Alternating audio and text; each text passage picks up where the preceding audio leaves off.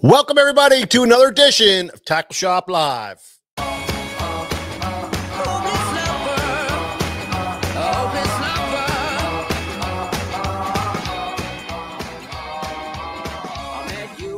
sunny day. Right there, you took my breath away. A young and pretty, was it just a dream? The next day, Yo, yo, yo! called me up. What's up, everybody? I'm your little buttercup. You came over and you fell into my Robert arms. Mack, how are you, bud?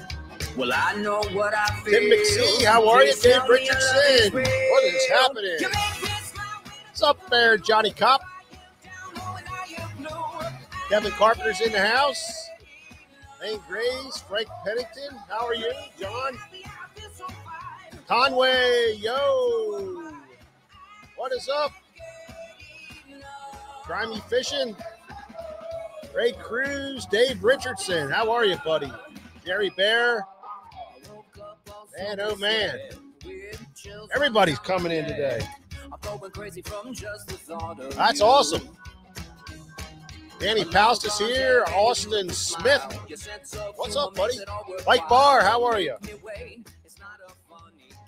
Man, oh man, we got a great show for you tonight. Hope you guys are excited for it. Man, oh man, oh man. Another Thursday is here, and we are psyched up and ready for a great show for you guys. Um, we are fired up. We've been working for the last week getting ready for our big cabin fever sale bash. It's like our last end of the year bash, and we are getting fired up for it and getting things ready. Um, we have been putting awesome specials together. Like I said, this is our end of the end of the season kind of first quarter bash. We kind of uh, put everything together and all our eggs in one basket and throw it out there for you guys. So for sure, it's going to be a great sale. But as always, we like to do some great seminars and we like to give away a lot of tackle at those seminars. And um, we're not going to disappoint. We have Mike Iaconelli signed up, ready to go. Was talking to him earlier to uh, yesterday, I think it was. And uh, he is fired up. He's he's coming in on Saturday, going to do a great seminar with us. Um, we also have old schooler Bernie Schultz, man, been around for 30 years in the game. He's got some great stuff to talk about. We are fired up about Bernie, and uh, he's going to do a couple of seminars for us on Friday and Saturday. Uh, so don't want to miss that with him. We also, uh, for this one, we get into some different species, and we have a great um, seminar on light tackle uh, striper fishing with Steve Griffin from Griffin's Guide Service. Now, Steve's one of the top guides down in that area in the Middle Bay, and um, he's got the ultimate equipment. He's got the ultimate boat, and uh, a really good dude. Really figures out some some fishing, catches them shallow, catches them deep. He also is a great redfish guide guide down there and catches a bunch of redfish. Um, and uh, he's going to be here doing a seminar, and also another seminar is going to be done by his buddy George for the guy that does the jigs. Yeah, um, we are a happy to have um, LJ from GI Jigs coming in, Yeah, and LJ is a lifetime just Central Bay junkie when it comes to just chasing big fish, yeah, for sure. stripers, rockfish. Um, now he's now he's on his redfish game, and and he and he makes a um, awesome line of jig heads um, to meet the needs of that type of fishing. For example, the big redfish came up into the bay, and you know you're catching 30, 40 pound bull reds. You're catching, you know, 45 plus inch cobia. Yeah, And these are tackle busters. These are like, killers. you know, it's just a, it's just hand to hand combat, just trucking some tackle. So he builds an, uh, an HD version of his jig to meet that demand, 8.0 and 10.0 hook forged. So, Yep. Um, we're going to have LJ here. He's going to do a seminar. He's going to work with Steve. They're going to work together. And uh, that's going to be, if you like to branch out every once in a while, that's going to be an Yeah. awesome seminar. Mike and I fished with these guys a couple times the last few years, and uh, they know what they are talking about. Absolutely. So you'll be able to, you know, learn some stuff about striper fishing and maybe go down from to the mid bay and see what that's all about and and catch some of that action down there because it's crazy action. Uh, also, um, we will have a really cool seminar on BFS, uh, and that's bait finesse system fishing uh, with our own Ryan Buttermore from Megabass. Uh, he's going to be doing it. He's been kind of messing with this for for many years, um, even even down to trout fishing with it. So um, you know he he knows about BFS. He understands BFS, and he's going to do a great seminar for BFS fishing. If you guys don't know what it is, you're going to have to sit in on him and check it out because he's going to break that all down for you. So real excited about that uh, to have him here. Also, I think there's going to be a cameo appearance from Greg DePalma. So we're working out the details with him. I'm hoping he's going to be here on Friday, and um, we'll we'll stick him in there somewhere because Greg's seminars, you guys know how they are. They're the best, and uh, I think this is going to be a last shot for him to to be here. So we're gonna we're gonna get him in here, and man, we're so excited to have Greg DePalma here. GDP will be in the house. So that's the lineup. That's what's going on. The seminar schedule will be up and running by Monday. You'll be able to sign on to the website, see the schedule, and plan your days accordingly. We've got the pizza guy coming for food on both days. He's going to be here um, making pizzas out there. So, you know, you guys, you know, be able to get some lunch and hang out for the day. Real excited about it. Got the big tent lined up and uh you know we're gonna have a ball. We are absolutely gonna have a ball. For all you guys checking in my name is mike a cord this is george a cord and behind the camera is cameraman nick and we are tackle shop live and we come to you live every thursday at seven o'clock. And this is no different different than any other thursday. We are fired up for a great show. We talk fishing we talk tackle we talk technique. We just talk. We just talk don't we nick? We love talking. Well, yeah, we do. Whenever we're talking fishing, I mean, you could talk about fishing forever. Yeah, I mean, you know, I love talking about fishing. Um, we got out fishing on Sunday, this past Sunday. Nick and Nick and I and George, uh, we don't get to fish together much, so we were able to hook up together. Last minute fishing trip. Went out on the Susquehanna River, and um, it was a lot of fun. We- It, you know, it was challenging at first to figure out the bite, but we kept working with it and kept working with it and moving and and shucking and jiving, you know, and and we put together a nice little pattern and and uh, we caught some nice fish. And Nick Nick was the big heavy hitter for the day with a four seven giant smallie.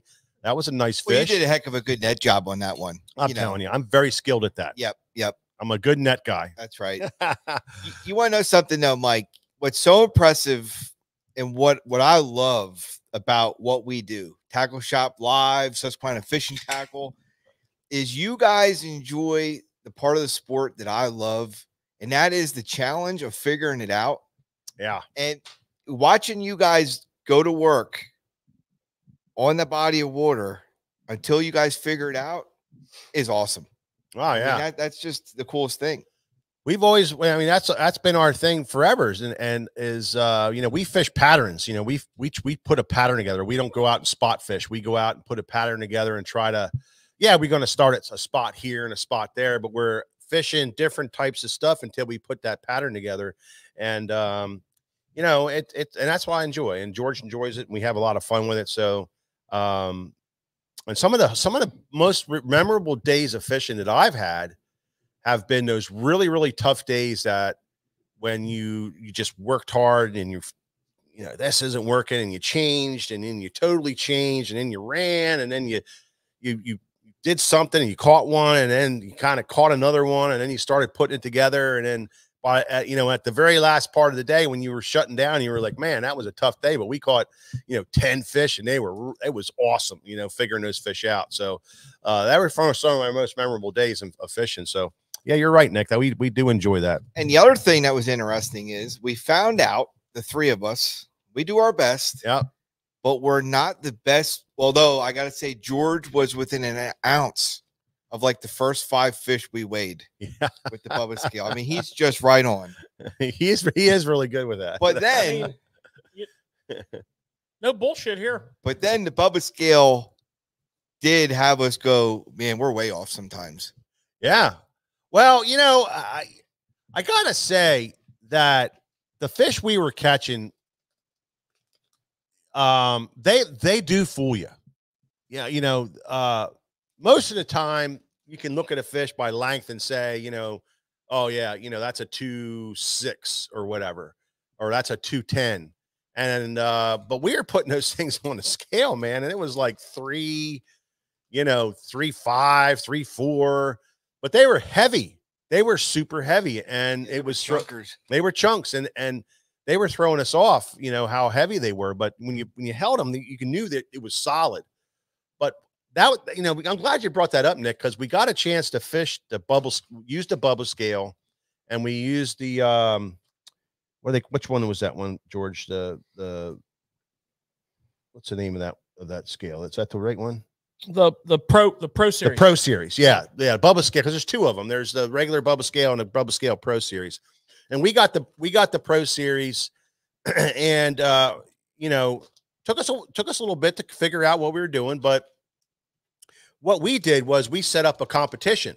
We went to competition mode, and it, it- we were able to set up three three um, bags, one for me, one for George, and one for Nick. And then as we were fishing, we were able to weigh the fish for each person and put it in their bag and keep track of their fish for the day. And that was pretty cool to see, you know, who was catching what and and um, you know, uh just tracking your tracking your bag for the day because a lot of times you you forget, you don't know.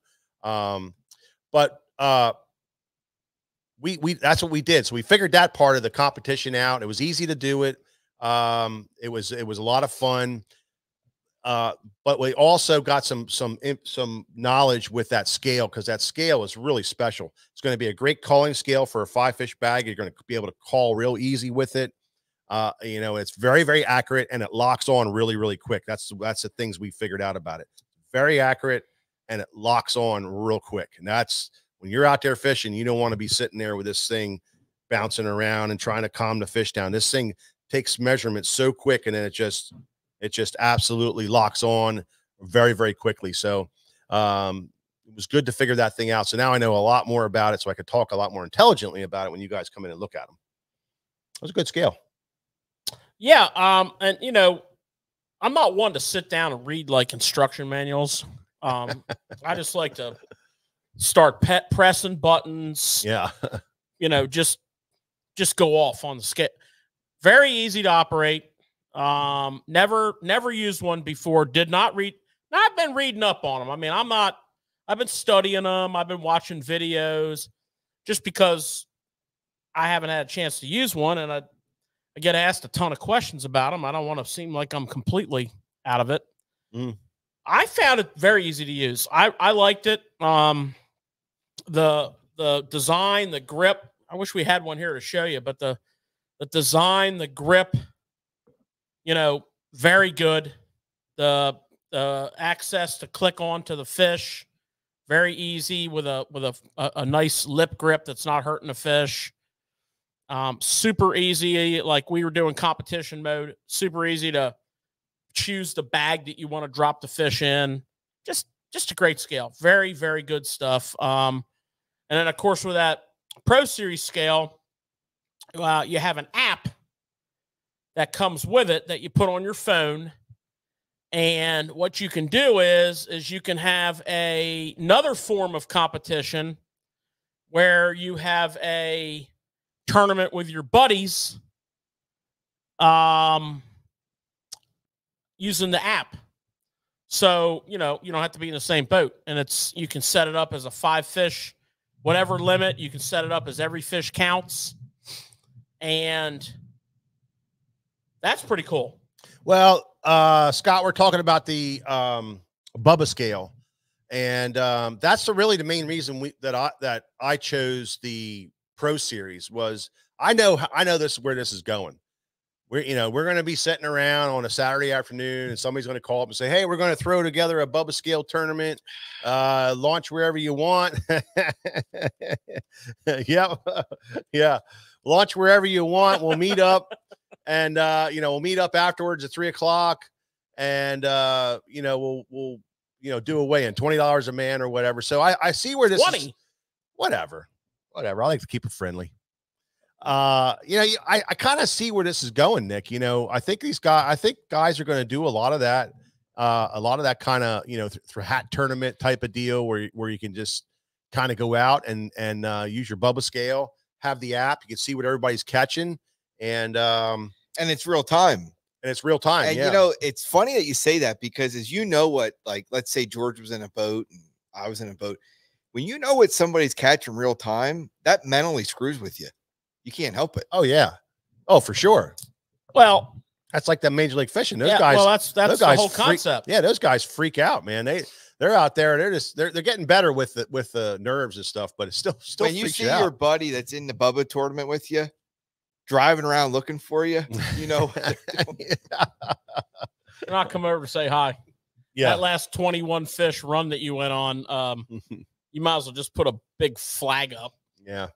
So we had a really good time Good on the fish water with uh uh, fishing with Nick and and George. Uh, it was a really great time.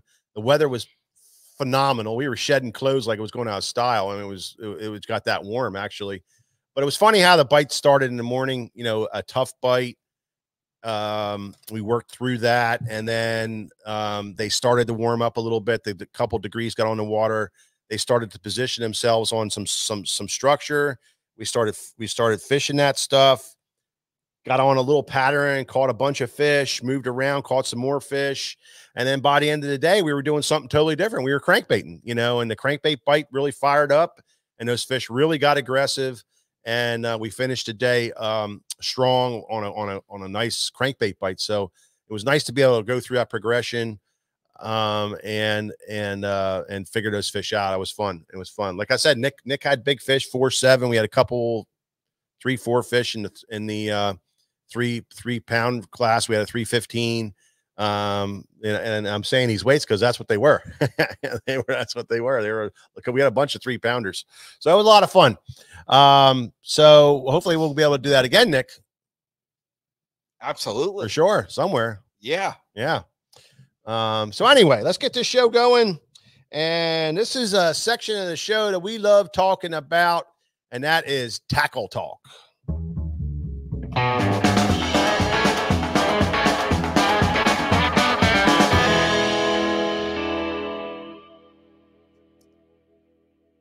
Yeah, yeah, yeah, Matthew. You could get in on those tournaments with your kayak. Why not? Nothing wrong with that. You kayakers are pretty good. All right, what do you got going on here, George? Tackle in some in the tackle talk world. Well, I picked out a few items for you today. So, um, you know, first of all, with all of the Damiki rigging that we've been talking about, you know, the moping, the whatever you want to call it, everybody's got a different name for it. I, I call it Damiki rigging. um, you know, uh, we're putting a premium on jig heads. You know, last week we talked about, uh, I believe it was the might have been the week before we talked about the Z-Man, um, f- you know, finesse eye swim bait head and all the different sizes that it was available in. And you Mhm. know, the the purpose of those different sizes is to match up with with the different baits. Yeah. To allow you to um you know, get the right sink rate and to to match the hook size with the bait because you know, the more time you spend on suspended fish, the more you realize most of the time it's a matter of sink rate, it's a matter of size of bait.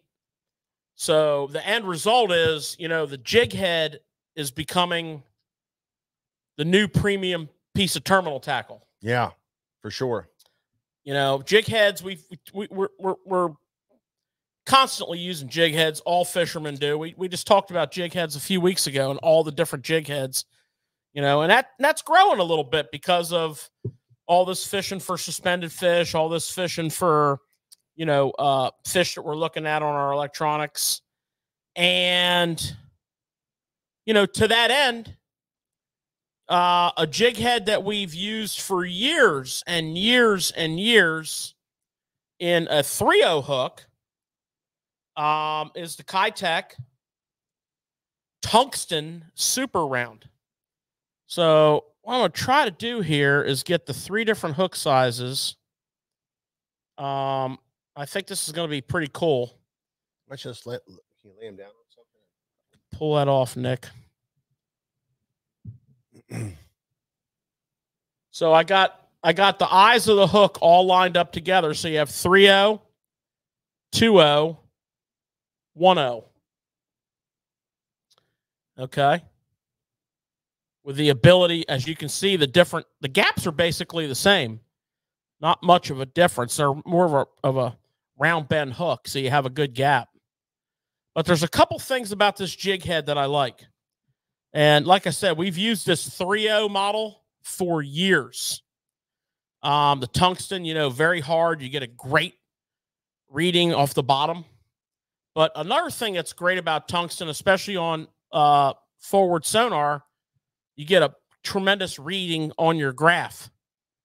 Um, it really, it really pings well. That's a big that's a big deal right there. Yeah. And the other thing I like about it is that keeper. Um, so this is uh collar and bar uh collar. In other words, the straight piece is the collar, and the keeper is also a collar style. No barb. Okay. What's nice about that is for those of you who have not used that collar style keeper, it holds really well. You get you get a great hold on your bait. It also works extremely well with ElaZtech, elastomer. You know the stretchy Mhm. works really well with that. Um, you know it's a it's a it's a small keeper. It doesn't tear the bait up, but it holds real well. I really like that. The quality of the hook is awesome always like the hooks on these. Um, but you know, we haven't really used anything other than the 3-0 for years. Now we're branching out into the 2-0.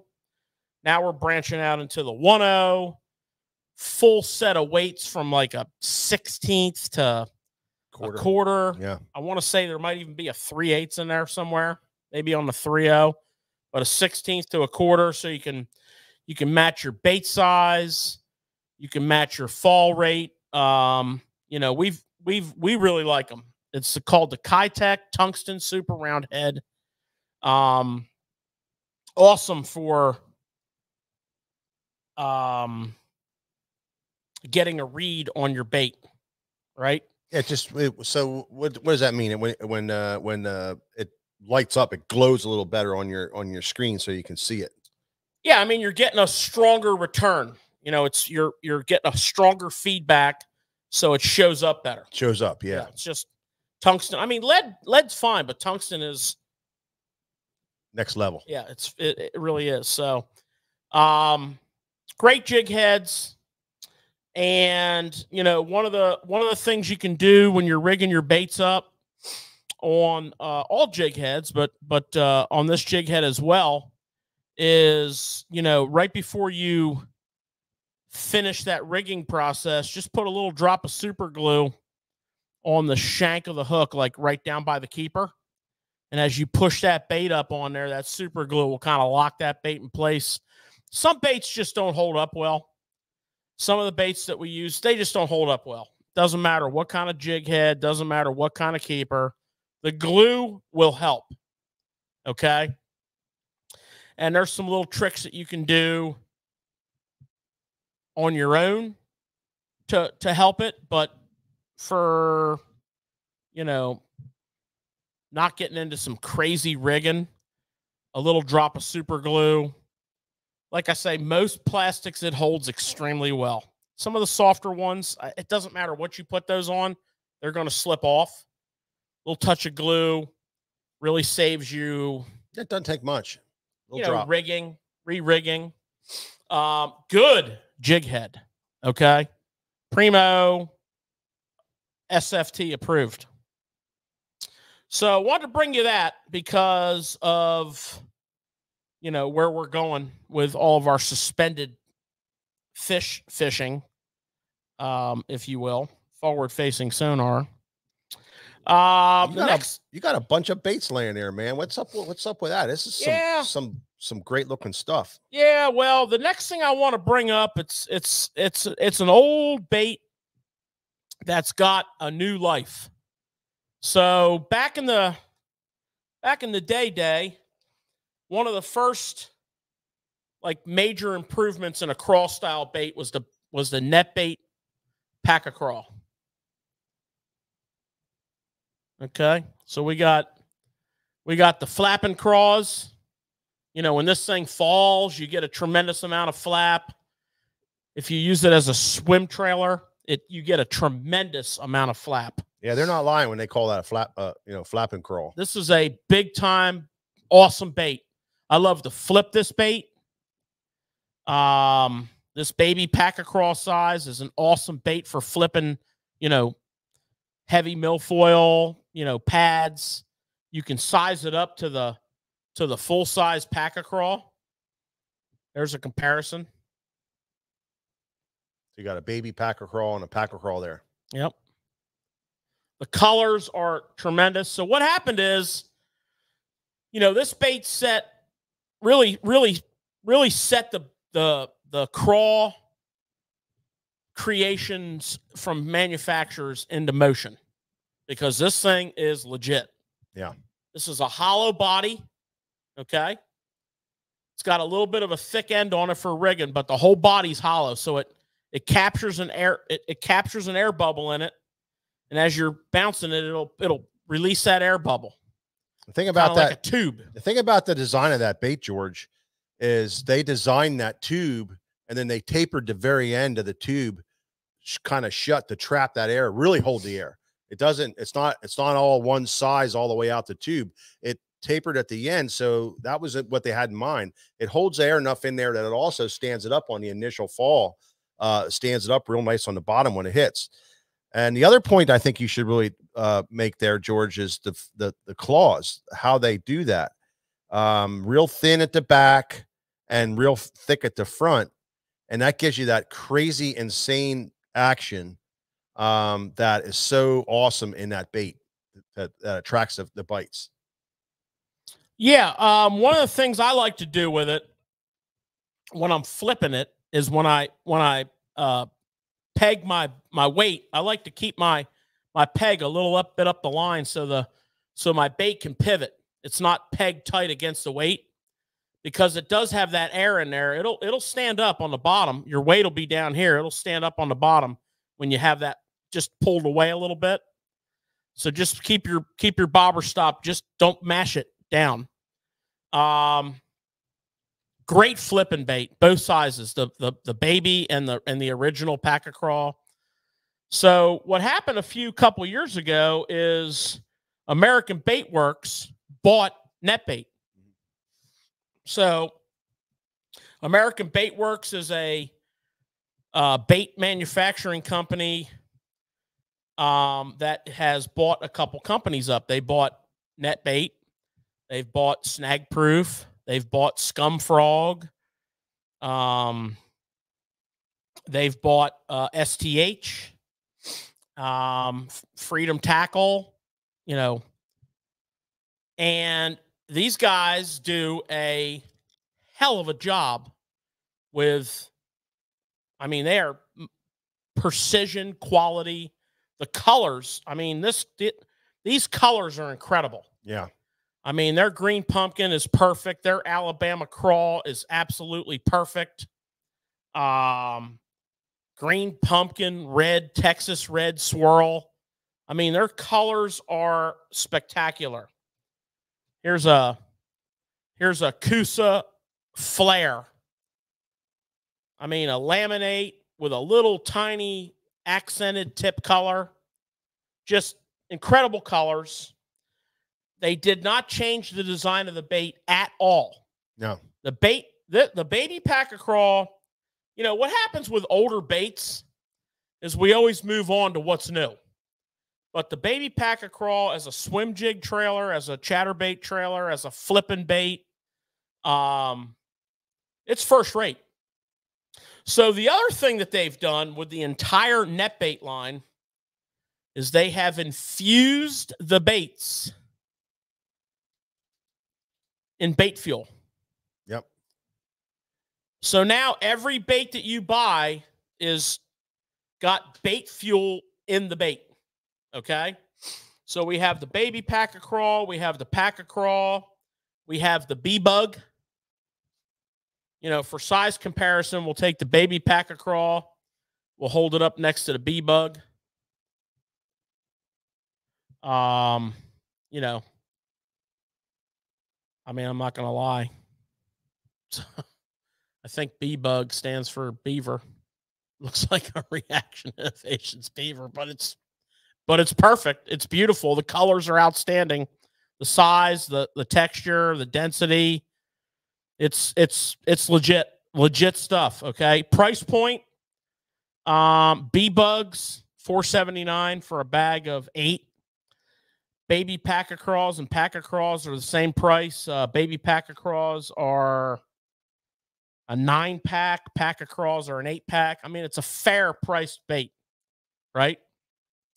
Um, the Paca Chunks. So I am a huge Paca Chunk fan. I want to show you something here.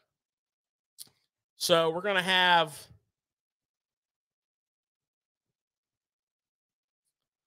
we're gonna have the tiny chunk. We're gonna have the chunk, and we're going to have the Paca Chunk Senior. Now, I want to tell you a few things about these. So, the tiny chunk on a jig such as a Bitsy bug is a finesse bait that catches giant fish. Okay, it's a powerful finesse bait when you need to go finesse, finesse. Okay, your standard Paca Chunk is your go to chunk for you know most of your you know your your your skirted jigs. Like this is a finesse finesse jig. I would put the chunk on there, the, the, the standard chunk. This is a you know a Matt Herren flipping jig. You could put the standard chunk or the senior on there, right? But here's another point I want to make to you. Absolutely awesome trailers on a swim jig. If you are if you are in a finesse situation on a swim jig, um, and you put that senior chunk on a on the back of a quarter or three eighth ounce swim jig in a finesse situation, you are going to be impressed. I I got into a situation with that last year, and I was blown away by how that trailer changed that bite for me. I was blown away. Um, and I was also pretty pleasantly pleased with how well it held up. Um, normally, you know, it's not uncommon to lose a claw on these kind of baits, but I got, I must have got lucky or something. But listen, 339 a bag. I mean, the tiny chunk is a seven pack, the chunk is a six pack, and the senior's a five pack, 379 or three, 339 a bag. That's not bad. Hey, Uh, hey Nick, you might want to put that little tiny chunk on a bitsy jig. put that on your bitsy jig. Ju- just saying, Nick. Might want to do that sometime. Put that on your put that on your like your it. finesse Yeah. or your standard jig, and put that on your flipping jig or your swim jig. George, Ki- Killer good stuff. are those chunks? Are they hollow inside? No, too? they're solid body. You can thread them on. They hold really well. I like to thread them up on. Um, I'll actually choose that. I don't really punch that chunk like I would a zoom chunk. Um, I thread it. So as my jig goes up, my chunk goes up in size. Again, all the colors you could ever want. Yeah. all the colors you could ever want. Okay. So I, I'm not going to go over every NetBait tonight because there's worms, there's, there's, you know, there's this and that. But I am going to talk about the ion. You know, everybody and brother copies the Senko, and the ion's no different, but it's a little different. You know, it's got a little bit of a different taper to it. Um, it's pretty heavy. It's not as quite as heavy as a Senko. It's net, it's bait fuel infused. Great wacky worm bait. It holds up really well, wacky worming. So they call their Senko the Ion, and it's a five. It's a it's an eight pack, five inch. Um, four seventy nine. Got like a mor- morbid tail, like blown up tail to it a little bit.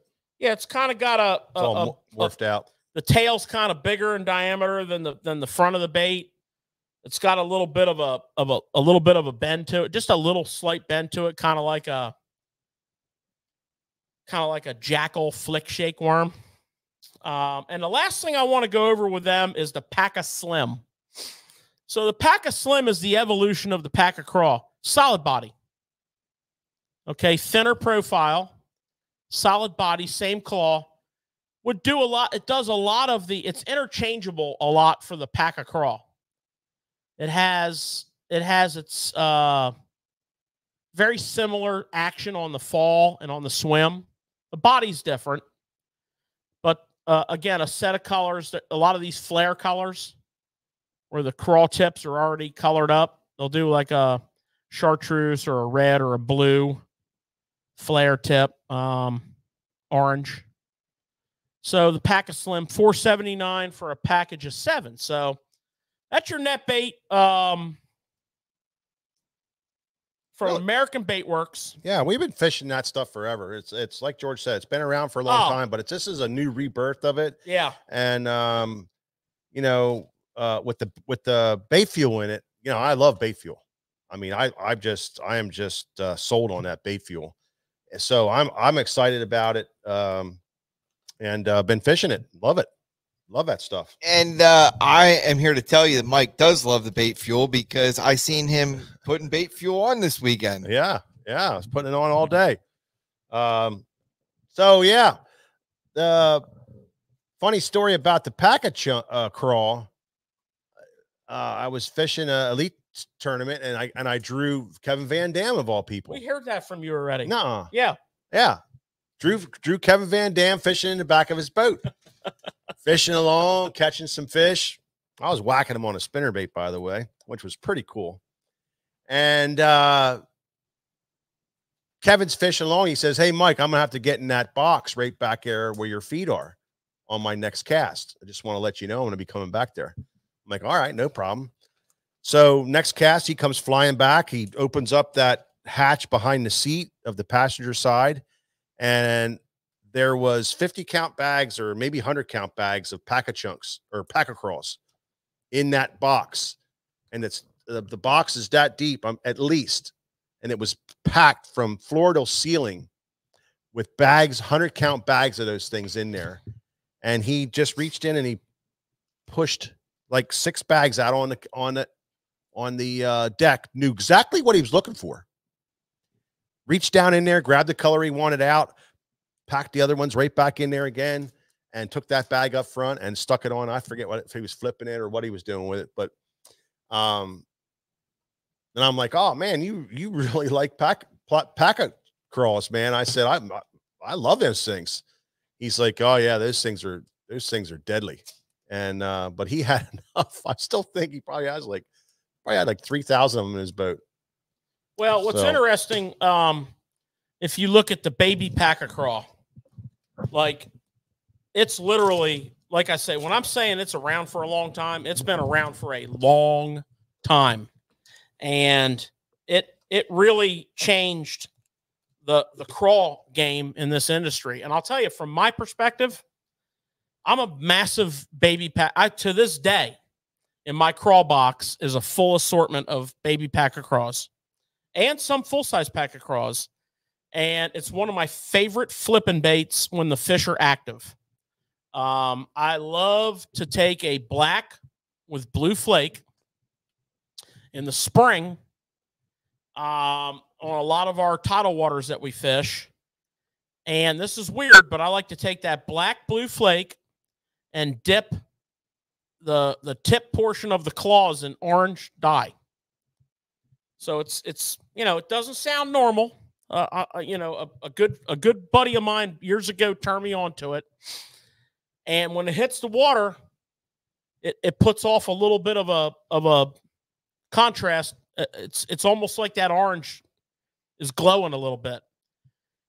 And I've done I've done all kinds of tests with it in the spring, and uh, that orange is is by far the the killer contrast. But that black blue metal flake, killer. Of course, green pumpkin. Yeah. Um, also, as a swim jig trailer, and the the yeah. it's got to be one of the most exaggerated claw actions of any cross style bait. So again, if you're looking for an uh, an um, an active looking bait trailer, Yeah. you know, because we always talk about dialing in the the swim jig and the chatterbait chatterbait bite by the trailer. Well, if you want something that's just like Looks like uh like putting work in, that thing is legit. it looks like George running down the street after he runs into a hornet's nest. Yeah, it's it's Ah! it's it's legit. It is legit. Um, Yeah. great trailer for a for a jig. Nick, did I tell you put that tiny tiny pack chunk on the back of a bitsy bug? Oh yeah, you told me. I'm telling you again. It's awesome. I gotta try it. It's an awesome setup. It's a great, great setup. Swims real nice. You know, you can kind of float along in the current and swim it nice. Killer, killer rig. One of the things I was cracking up when you said about how many Paca Craws Kevin VanDam had in the back of his boat. I couldn't help but think of, hey Mike, get up in front of the deck when I go to take off. Yeah. now we know why. I know. Yeah, when he was saying about uh hey, you might have to climb up in the front of the boat to get this thing on plane when I tell you. Uh I was trying to figure out why, but when he opened up that I'm not kidding you, it was floor to ceiling uh pack of Paca Craws. And you know how deep those boxes are, you know, on those nitros. I mean, they're like fit a small child down inside there. It was packed full of those things. But he knew right where that color was too. He had like 37 colors in there, and he went right down and pulled that right that one color right out, and like it was no, nobody's business. That's how you know you know your tackle. You know you're organized. Yeah, they, they, I was impressed. they, they do. You know, they they do make a, a quality product, and now that it's bait bait fuel and enhanced, it's it's even it's even a better product. And and you know, we will be featuring more baits from American Bait Works on the show here on Tackle Talk segment because coming up we have a very interesting lineup of frogs. They've done a they've done a really cool expansion to the snag proof lineup. Um totally radically different. We're going to bring that to you here shortly. And we're going to talk about I mean their frogs are primo. You Yeah. know, they told me the story about um, when they bought Snag Proof and when they bought Scum Frog. You know, those two brands were family owned brands, particularly Scum Frog, Southern Lure Company, family owned from day one. The same family had it forever. And they had they they took great pride in their in their product and they had a way of doing things. And you know, they put out a great product. These guys bought the company and they're like, okay, we're going to change things a little bit. We don't want to we don't want to lose that heritage. We don't want to lose that following, but we're going to modernize the process. And some of the stuff they told me, which I'll get into when we when we get on that show, is just I'm going to show you some stuff with their frogs that is going to be impressive. So we're going to do that in a couple weeks, um, depending on how things go, um, and and so on and so forth. You know, the bait fuel, obviously, they made a big they made a big sound with that. They got a I don't know if you're paying attention to their pro staff. They have a assembled an incredible pro staff.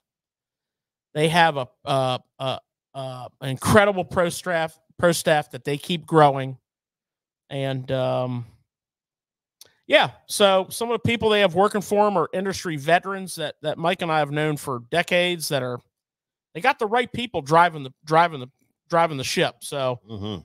for night for, for tonight we're going to talk about that that NetBait we wanted to we wanted to turn you on to that uh, guys i was i was wanting to talk about some rods on tackle talk before we get done Hmm. and you know i'm like man you know what what can we talk about and i thought about two rods that in the last probably two to three weeks, I've been asked by numerous people, which is not unusual, about a jerkbait rod and about a finesse spinning rod.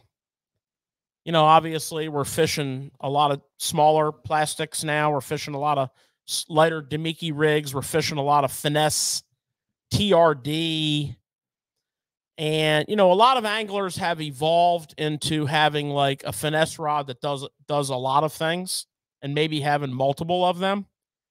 Not necessarily a drop shot rod for drop shot fishing and a medium light for Ned rig fishing and a you know like one rod that does multiple finesse applications and and and if you spool it with braid like a 10 or a 15 braid now you can just change leader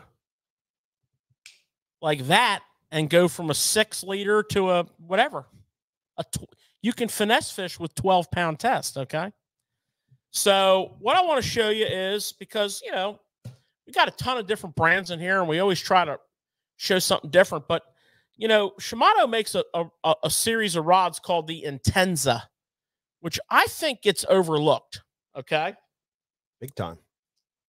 now this is the second generation. The first generation we we shared with you years ago. We gave it a lot of love. Mike and I got a whole, you know, whole assembly of them and we worked them out.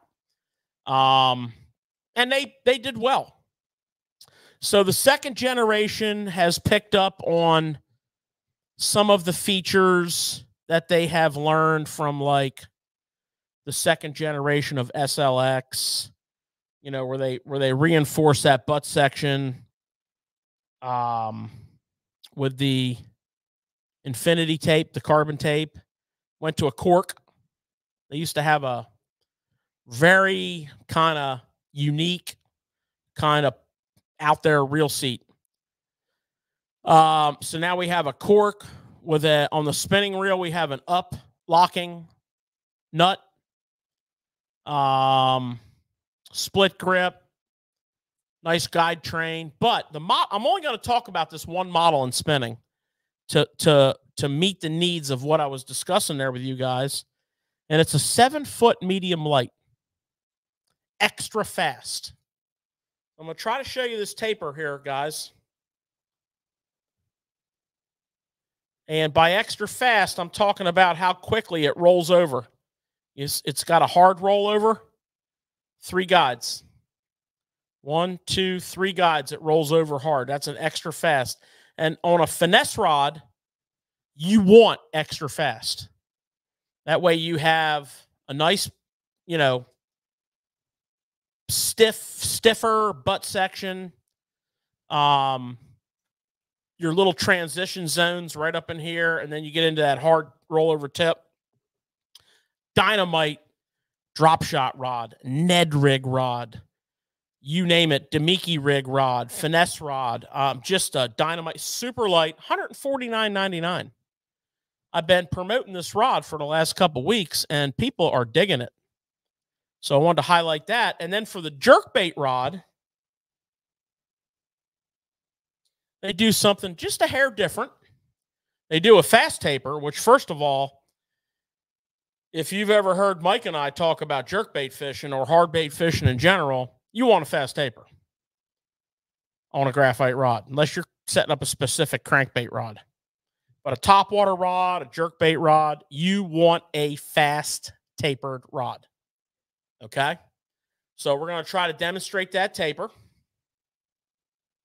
You're going to notice it's a little more, it's a little more of a generic bend than the extra fast. It doesn't like roll over real hard. So it, it flexes back in a little bit farther. Still got plenty of backbone, but it's six nine medium, fast, very light, Yeah. jerk bait, Pop-R, walking a walking a, you know, walking a Giant Dog-X, um, throwing a light little uh, spinner bait, roll casting a square bill, just that rod, right? 149.99. Again, cork, split grip, uh, exposed reel seat, graphite, nice, nice little lockdown. Beautiful stuff, man. Wanted to highlight those two rods for you. Matthew, that cork's a upgrade. Uh, from hype from a, from a foam handle to a cork handle, That's an upgrade. It's it's more sensitive, it's lighter. Well, they never had a foam handle on it. They had that. They had that uh, sort of their version of a Winn Grip. It Yeah. was. It, it almost had a checkering pattern on it. Yeah, it's like a Winn Grip style. It was a rubberized. Yeah, Very nice. But this cork is yeah. spectacular. Cork's It's hard. light. It's sensitive. It's denser. It holds. It's more Um, sensitive. Great jerkbait rod right here. If you guys are in the market for a jerkbait rod that doubles up as a little square bill rod for some roll casting or many other hard bait uh, applications, little finesse, the little finesse jig we were just talking about, um, and many more items. Great rod. Okay. Six nine medium. That's a that's a it's a casting six nine medium. They're both one forty nine ninety nine. Intenza, check them out. Andre, what's the matter with you? Hmm? You need to check yourself. You need to check yourself, Andre. You don't like the jerkbait fish. Well, you need to check yourself, buddy. Here's a perfect jerkbait rod for you. Grab one of them, get a Vision 110, put it on the rod, and just throw it for the next three months. And then you tell me that you're not a jerkbait fisherman. hmm You're missing out on some good fishing right there. Uh huh. Right on. Well, not only that, but I mean, not only is the jerk bait like a pre-spawn staple. I mean, let's look at let's look at let's look at the tournament season so far. Okay. Let's look last week at the elite tournament on fork. I mean, the jerk bait was the deal. Um, the top 10. I mean, you had, you know, you had um Tyler McKinney, the winner, mixing a jerk bait in. You had Tyler Rivet throwing and and the thing of it is a lot of the a lot of the jerk baits they were throwing were upsized. As a matter of fact, the one pro, and I don't remember who it was, might have been Tyler McKinney, said that on day one they didn't have a good jerk bait bite. And then, you know, talking with their with their crew, they found out that they needed to upsize. They needed to go to a 120, a 130 size jerk bait. And then they got those bites, right? What's that, Um, what was that one that Matty Wong was throwing? That uh, He was throwing a Kanata plus one. yeah, Kanata. And also what played was the uh 130 um re-range, the 120 scope stick. Um and I'm sure just about every brand ha- had a now it was interesting with uh Milliken. He also he all he rigged he relied to, on two jerk baits. He also downsized one when he had a fish that was like real f- like not interested. He would pull out that downsized jerk bait, um, which was a 98. So, you know, the jerk bait played to the tune of the top 10. Um, and if you are a reservoir fisherman, if you're a forward facing guy, jerk baits are a standard issue deal. If you're a if you're a smallmouth guy, you gotta fish jerk baits. If you're a pre-spawn fisherman, you gotta fish jerk baits. I mean, you know, we have talked about jerk baits on this show. I bet you I've said the word jerk bait 1.5 million times. I, matter of fact, I could hijack this show right now and just talk jerk baits for the rest of the night. I'd have no problem with that, Jordan. I mean, I could talk. Mike could talk. You could talk. We could do. We could just. We could just shift, pivot, and go jerk bait right now. Well, I'm going to ask you a question here. With this Kanata and some of the bigger jerk baits, are you still throwing that six nine? No, Okay. no. The Kanata That's a big boy. is a pretty big jerk bait. It's three quarters of an ounce. So you know you're going to want to go up to a medium heavy rod. Um, you're going to want to go to a bigger line. you know, like a 12. And yeah, I mean, now don't forget, you know, you can adjust the depth of your jerk bait with line. Okay.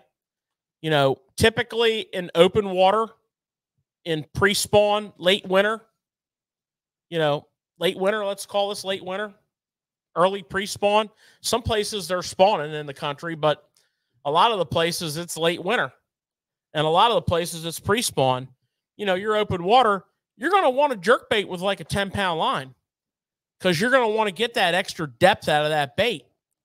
Um, and you can just figure you can go up in line slightly and just take a little bit of depth off that bait as you go. And, you know, when you are dialed in on your jerk bait bite, you will have multiple jerk baits rigged. You know, you'll have a, you might have the same jerk bait rigged on three different pound test lines, or you might be fishing a, a, a, a like a, like a Vision 110 and a Vision 110 plus one. So, you know, and the other thing is you got to pay attention to how that bait's reacting on that line. You know, if it's a tough bite, you want that bait to suspend flawlessly, right? So check it. Throw it out there, pull it down a little bit, and check, watch it on a slack line. And if it's rising up a little bit, put a suspend dot on it. You know, that really makes a difference on a tough bite or a cold front situation. You know, you also may want your bait to sink a little bit. You know, if the fish are a little bit deeper than your bait runs, let's say they're suspended, you know, two to three feet deeper than your bait runs, you know, you can add a little bit of suspend dot to that bait to make it sink a little bit, right? Some people will wrap a little lead wire around the front hook shank on the treble hook. Other people will use, you know, suspend dots, other suspend strips, part of a suspend strip. Um, and and you know, if you're not if you're not like drinking the Kool Aid and buying all this, you will. And it's If- funny how you, you say that, into it- George, because once you have it like right where you want it, that jerk bait is like gold. Like you have it in your box, and you know, like when it's this water temperature, that's the one I want right there. Boom. It's pretty cool. Yeah, generally the tougher the bite, you can unlock it, especially pre-spawn late winter. I mean, you can unlock it with a jerk bait. If it's a tough bite and you commit yourself to the jerk bait, if those fish are suspended, um, or even if they're ganged up, you know, on close to the bottom and it's not that deep, um, there's a lot of situations where the jerk bait will absolutely shine. I've done extremely well. I'm talking extremely well on pre spawn tidal water largemouth that were backed off due to a cold front and they were backed off. They went out deep. They went out to like almost five feet deep on the outside of the grass. And there was a bunch of them there. Now, you know, this was back in the days when you know, we didn't have forward facing sonar. So I'm, I'm just telling you, there was a bunch of them there based upon what I caught. But that particular tournament, I was able to take a pointer 78, which got me right to where I wanted to be, smoked them. And I can promise you on that particular day, on that particular tourna- tournament, I was the only person on the entire river throwing a jerk bait. It just wasn't done. But you know, I'm I'm a I'm a part of my background. I'm I'm a heavy smallmouth river fisherman. You you know, I mean, we're we're jerkbait guys, and so I was like, whoa, the, I need a jerkbait here, right? I was winding everything I had to wind. I was finessing everything I had to finesse. I put that jerkbait on, and it was bang bang boom, right? Right? Hmm. I don't know. I wasn't there. No, but I'm just saying, you know what I'm talking about. I know what you're talking about. I tell you what, though, that'd be fun to throw in that big Kanata. I think so. I think that's going to be fun. I've thrown that big sucker on on uh, smallmouth. Uh, never caught anything on it, but the but the but the big Kanata I've thrown in the fall of the year.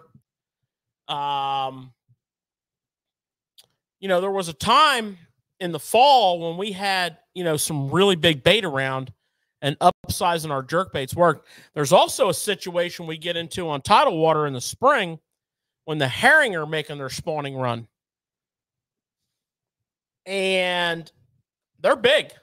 Yeah, there's some giants. And those bass are just, I mean, they're sucking them down like like a dozen square mile wings extra crispy. I mean, they're just like all in on the herring. And you know, you can get that reaction bite on them on a big jerk bait, like a 128, no problem.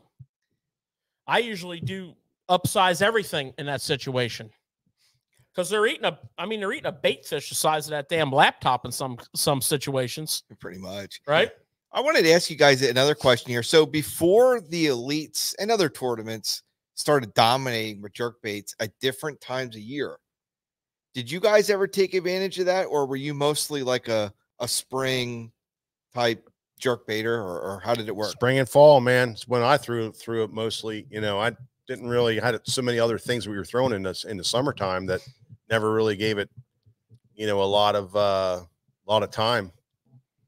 You know, spring and fall, you know, obviously, but uh, particularly with smallmouth, um, I found myself as I as I as I felt as though I was getting a little more versatile. Um, you know, we always talk about September as being a challenging month, and it depends where you're at. To be honest with you, if you go up north, um, it you take a lot of that you take a lot of that that terrible bite away. And if you get on a on a river like our susquehanna river you know you tend to have more consistent fishing you know you get on a tidal body of water it can be very challenging. You get on most of your lakes and reservoirs it can be very challenging. So you know as i got more um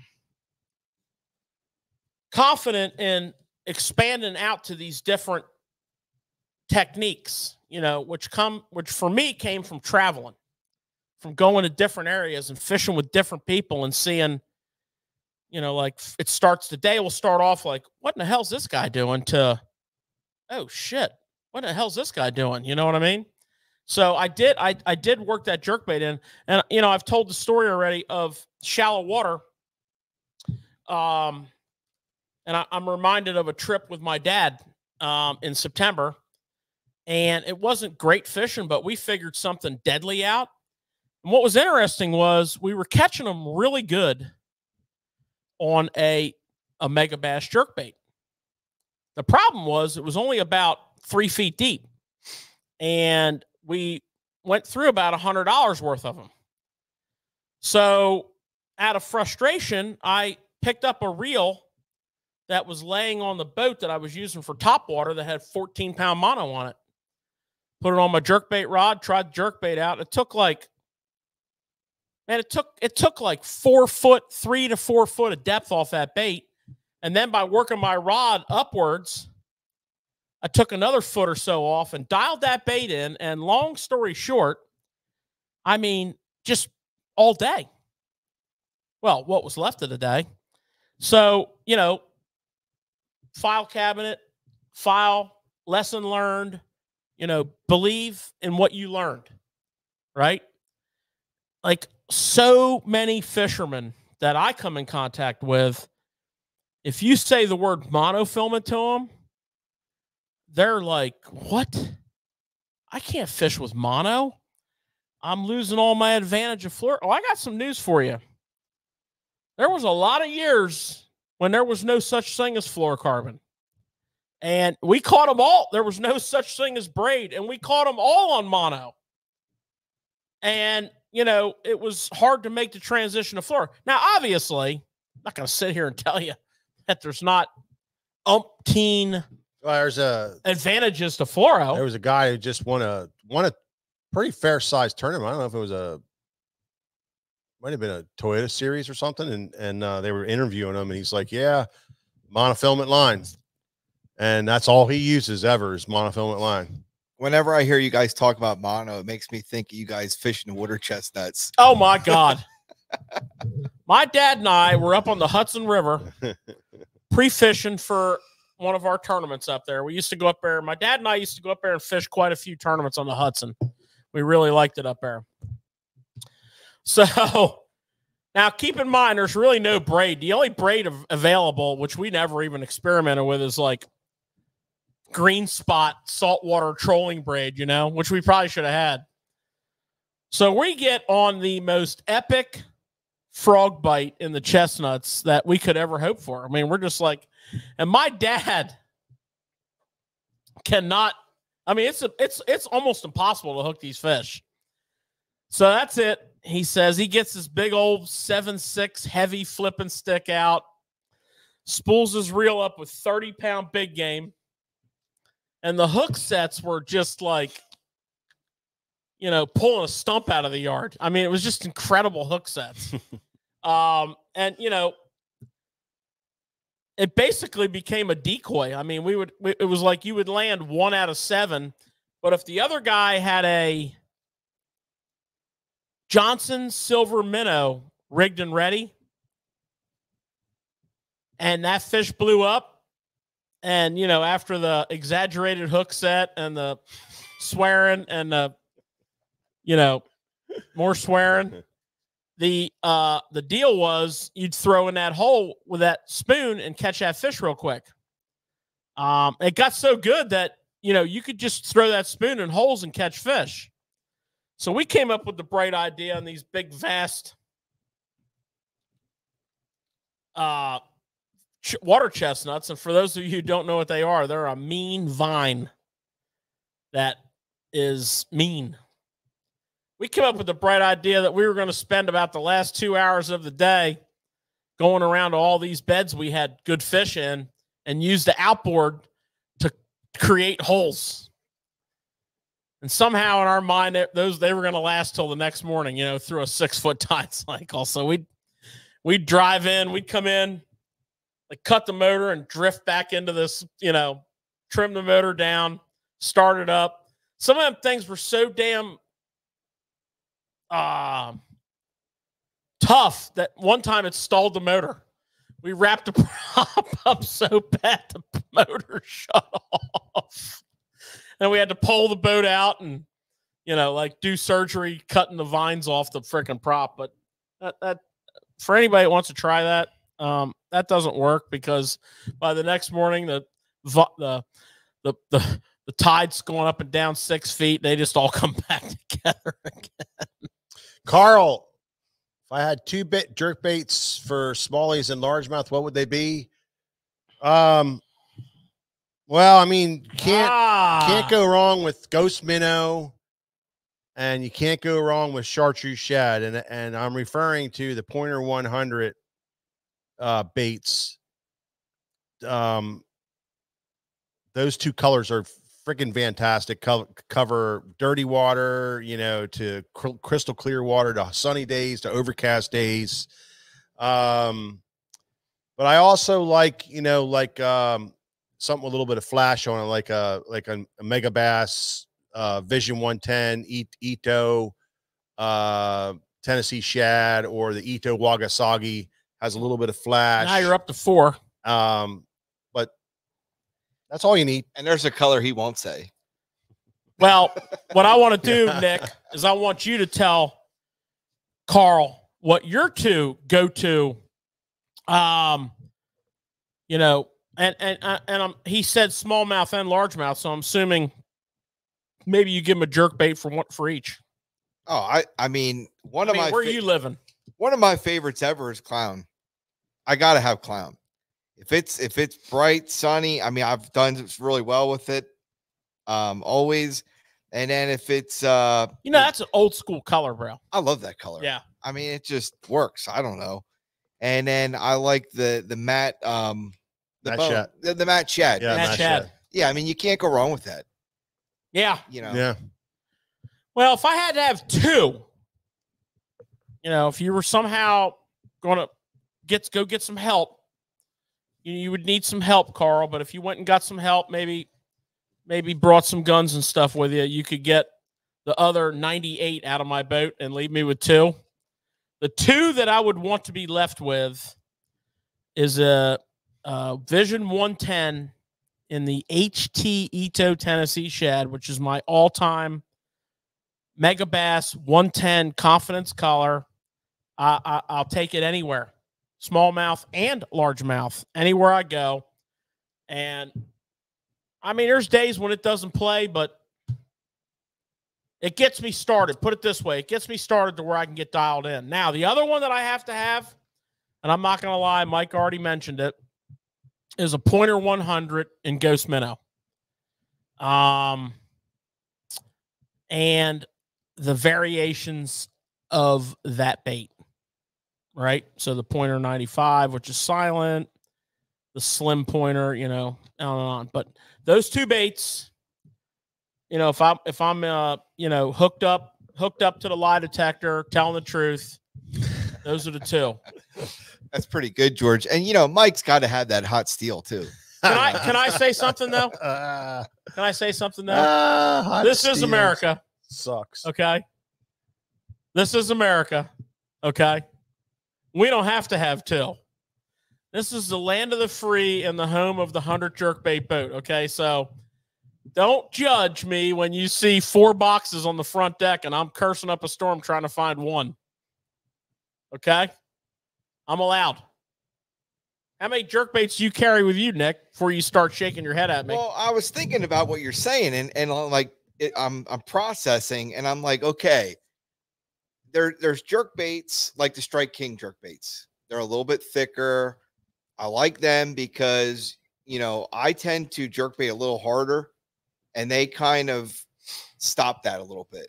Where you get into like the Megabass, if you jerk bait them too hard, you can almost over Overwork them. yeah.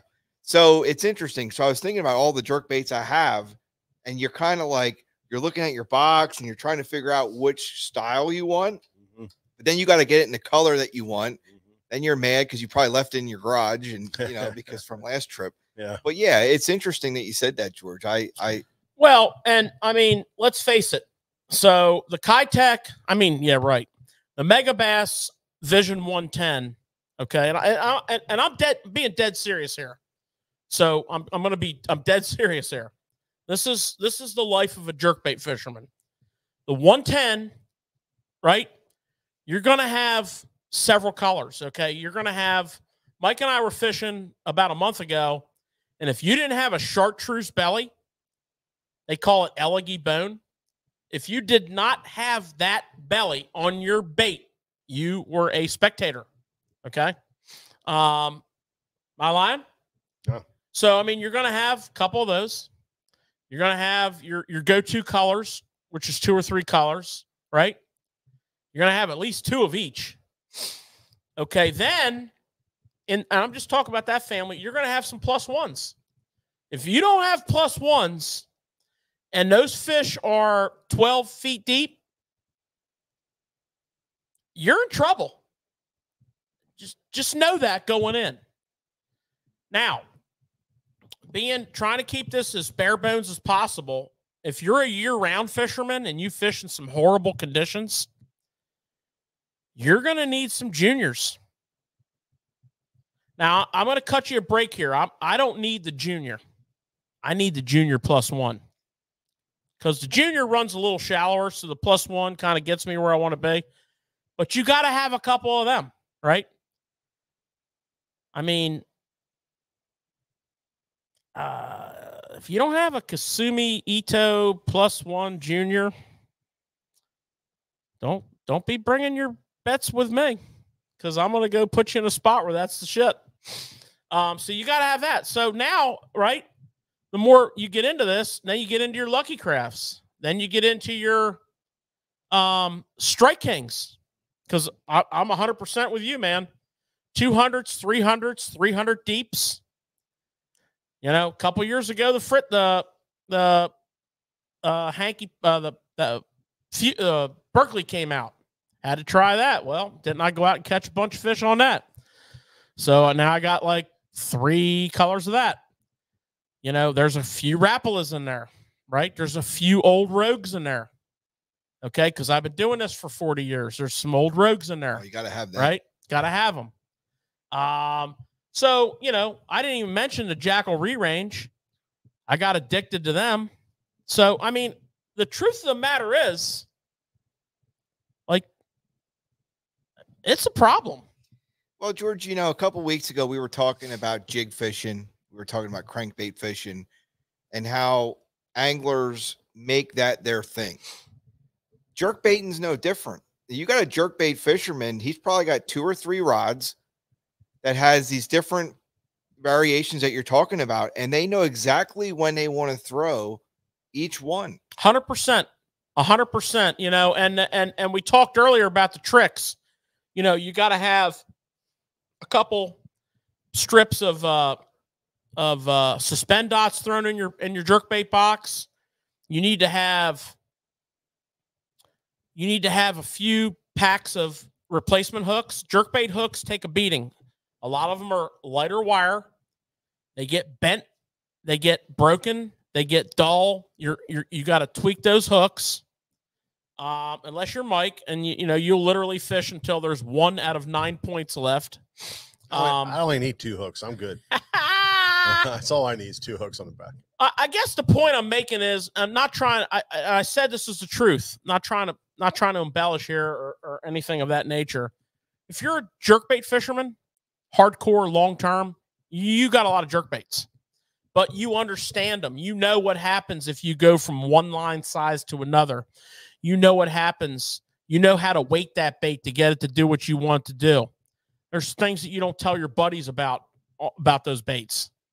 You know, when you're fishing with them and you're kicking their butt, you're not telling them about the hook size change or the or the the the thickness of the hook change that you made. And if you guys aren't buying this, then you you you should you should get in and you should dedicate spring uh, pre-spawn spawn of 2024 to your jerkbait game because it's it's a game. Hey, you guys picked colors that you have to have. You know, that you what's a color that you would tell everybody that is an obscure color that you have to have? Hmm. Where you going with that, Mike? Well, I mean, you know, and uh, something that you know, kind of along the lines of Nick, he likes to clown, you know, which is not obscure, but it's a brighter color. I like uh, I like a bright color, you know, which would be like a or that orange uh jerkbait we were throwing. That's kind of why I asked this yeah, question. yeah, we were throwing an orange jerk bait, you know, and had some great success with that over over the years. Didn't work on Sunday, but they weren't eating a jerkbait. But you also told me that you're like Nick, you probably won't get the bites, but when you do, Yeah, absolutely. big one. Yeah, it's going to be a good, good. But the, you, you, if you notice that too, the jerkbait bite wasn't on. It was just not a jerkbait day. You know, they at least not in the morning. Maybe in the afternoon it would have been better. But, um, you know that that that types of colors like that, a fire tiger, you know, that has its moments. Those bright, nasty looking hot steel. God's sakes, It, it pains you to say that color. hot steel is the ugliest jerk bait in the world, but and why and they eat it. I don't know why they eat it. It's a stupid chartreuse with a stupid orange belly and a gunmetal back. I mean, it doesn't make any any any sense, but it catches fish. And and uh, I noticed, I noticed there's there's just times when those gaudy color. I mean, why do they hit a why do they hit a red crankbait? You know, Crawfish are red. you know what I mean? Why do they hit? Why do they hit one of these one of these stupid things?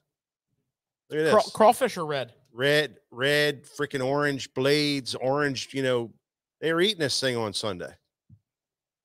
Um, so yeah, I like to have a, I like to have a, a that red, that red, uh, that red one on hand and a, and a fire tiger. You know, um, notice I was fishing a perch, that perch, that green, bright green fire tiger perch with the with the gold side in that dirty water. You know, I try those stuff because every now and then those things will kick off, and when they do, it's it's pretty special.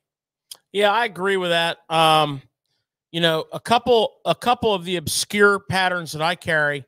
One of them is a is a Lucky Craft color, and it's called Ghost Chartreuse Shad. Um, They generally don't produce it. Um, once in a blue moon, they'll run it for like one shipment. But if it's super bluebird, sunny, fall day, no wind, crystal clear water, I don't care where you're at. I don't care if you're on Lake Champlain. I don't care if you're on the Susquehanna River. I don't care if you're at points in between. That color will make fish that won't bite bite. It's clear. It's it's just got that whitish kind of like transparent like ghosty appearance to it and when you're popping it along it will and if you switch up to that color under those circumstances and they bite it it's game over. Other circumstances it's freaking worthless. But i always keep a couple of them in there uh, and whenever i see that they run them i bring a bunch of them into the shop here they haven't they haven't run that color in a long time the next time they run that color i'm going to buy every one they have and and load them back in the shop here because there's other people that know that so you know sometimes when you talk about obscure colors, you think about gaudy. This is obscure in the terms of subtle, right? It's kind of like why I carry a small selection of silent jerk baits, right? Um, there's those same exact circumstances where, you know, picture this, put put your mind into this picture. You know, it's that tough September time of year it is absolutely high pressure, you know, like mega high pressure. There's not a cloud in the sky, right? Uh, the water is crystal clear. There is no wind. Okay. Picture all that. Get yourself dialed in on all that. And you're around fish that are hard to make bite. A silent, like ghosty looking, like a like I carry a couple of silent ghost minnows with me. And if I can get bit on that, um, it's game over. Usually that ghost chartreuse shad will get it done. But if that doesn't, then that silent does, it's game over. You cannot beat a jerk bait for like negative fish.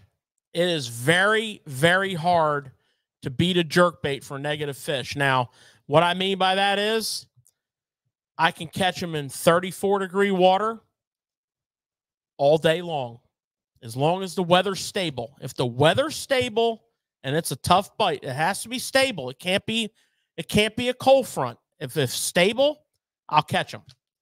I can catch them in the dog days of summer when you can't catch a fish. But you you better be ready to work because you're going to work that jerk bait like a machine gun. Mm-hmm. You're cracking, ripping, reeling. It's exhausting. You're going to be switching from left hand to right hand. Um, I got into that situation a couple times up on Lake Champlain when I was around a bunch of quality fish and the bite got tight on me. Put that perch 110 on and just like I just from a distance, I must have looked like I was just, I mean, lost my mind as hard as I was working that bait and getting bit, getting bit, causing, making them bite. A jerk bait can be used to make fish bite. Do you believe that, Nick? Absolutely, because you're you're if you're jerking it right, like you've shown plenty of times, where you're not pulling it forward, you're you're dancing it side by side. There's not many baits that can entice a bass like that. You know, most baits you have to bring forward. Mm-hmm. And, and those baits there, that bass is just looking at it, looking at it, and finally they're like, I can't take this shit no more. And they're going after it. Yeah. You know, Yeah. Well, it's like Mike always says. I don't care if it's a a dead sticking bite or if it's a Kevin VanDam on steroids bite. There is slack involved in the action of that bait and the manipulation of that bait. If you don't have that down, and we've gone over this so many times in here, you know, I was fishing with some pretty good fishermen already. And I'm like, damn, bro, you need to get your jerk bait game dialed in. You know, you got to work that jerk bait with slack There has to be slack involved. If your rod tip, I, here's what I'm going to tell you. It's the best way I've ever figured out to tell somebody. If you point your rod tip at the river or the lake, the surface of the water, and you pop that bait and your rod doesn't recoil back to that starting spot, you made a mistake. Now, it might only be there for a split second, but if it doesn't pop and just it's it's an automatic recoil. You look at my look at my look at my pointer finger on the camera here. Watch the arm. I put a $20 bill right here. I ain't dropping it. Right? Boom, boom. It's it's it's right there. I, the rod never moves anywhere. It's all right here. Boom, boom. Now, if I'm dead sticking, I'll let that slack in there and I'll just dead stick. Right? It's just just get this down. Get this down. Pop recoil. Pop recoil. Hit it, bounce back. Hit it, bounce back. Hit it, bounce back. It makes you a jerkbait fisherman. Makes you catch more fish on a jerkbait. Right? Yeah. Slack line's a deal. Slack line jerking. It is. Big deal. Well, George, how about um how about slide into some tournament talk? Oh, I got a little. All right. Let's hit let's hit it. I got a little.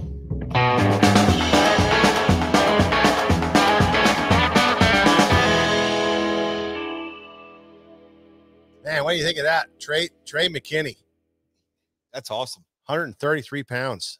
19 years old. I mean, 133 pounds. That's ridiculous. I was, I, you know, funny, funny thing is, is I was watching a interview from uh, Jordan Lee, and he was saying that, you know, forward facing, forward facing, blah blah blah, and he said that if we didn't have forward facing and we were just fishing, he said um, everybody would be saying how tough it is and how uh, it's just not great fishing, you know, and that, that the lake really isn't that good. You know, it's not, you know, it's hard to catch fish.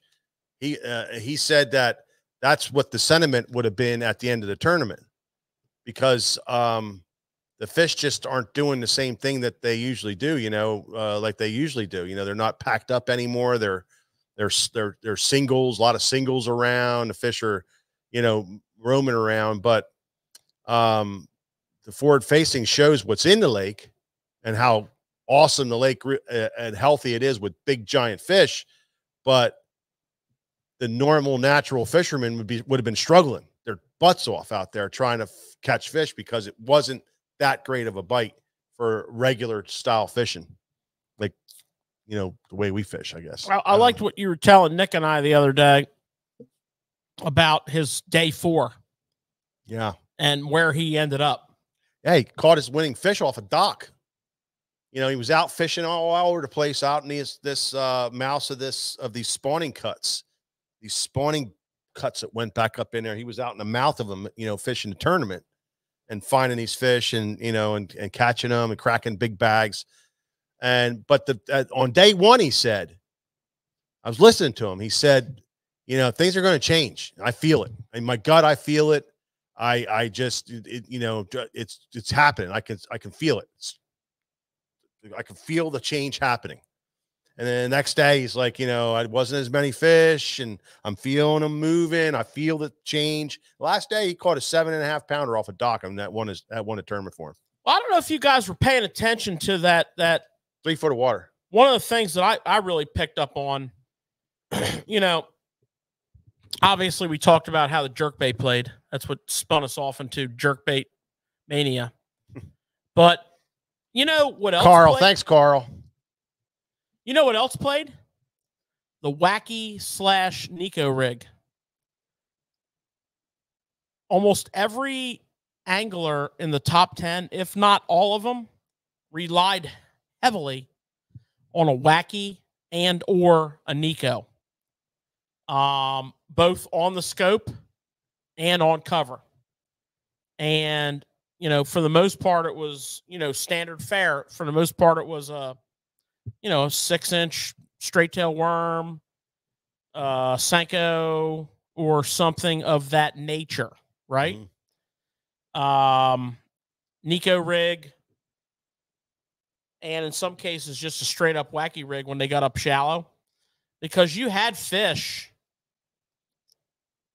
you know, wanting to go to the bank and spawn so bad. And, you know, obviously the wacky rig plays a major um point in that. But the Neko rig, you know, as we have seen in the course of the last few tournaments, has become a major forward facing bait rigging technique also.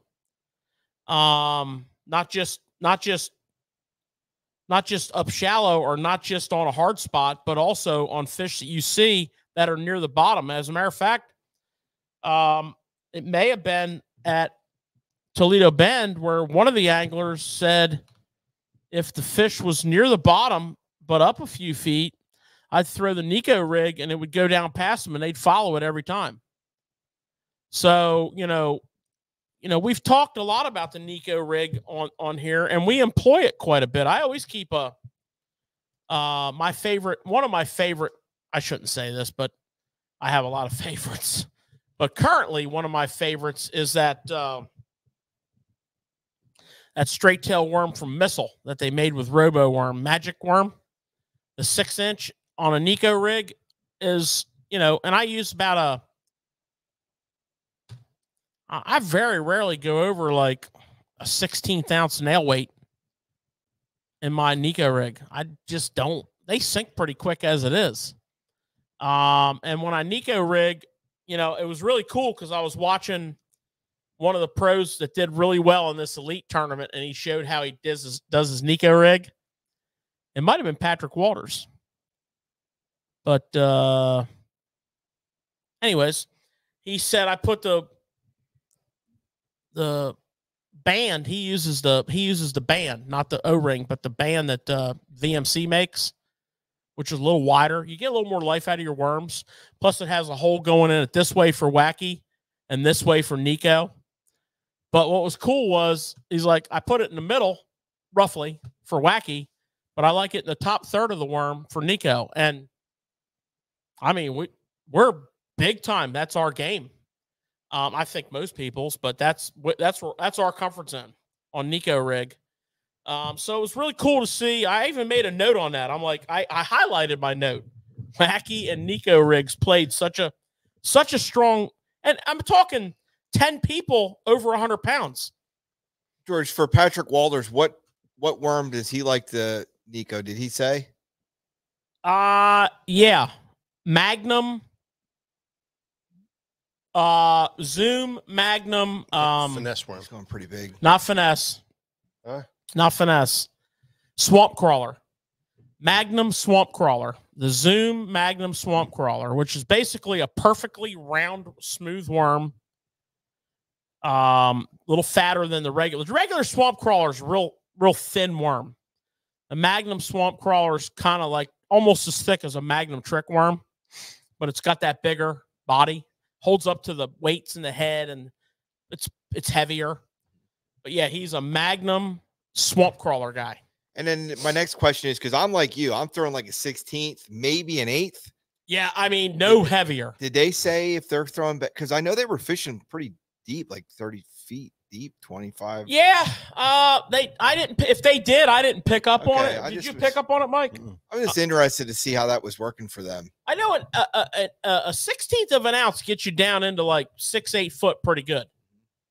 Um, I don't know about all you guys out there watching, but if the wind's blowing hard enough that I can't feel the bottom with a Neko rig and six to eight foot of water with a sixteenth ounce, that Neko rig isn't getting picked up anymore because that wind is just saying, George, George, you're stupid, George. saying chatterbait, dog spinnerbait, right? Wind on them.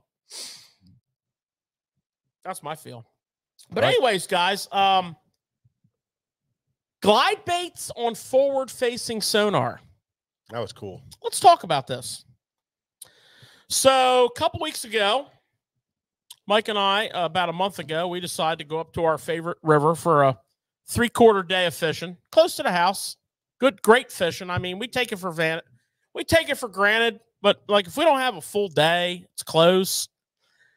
We, you know, we take for granted the fishery we have in our backyard. It's like, ah, we'll just go up here. You know, it's freaking awesome. But anyways, uh, I'm throwing my glide baits.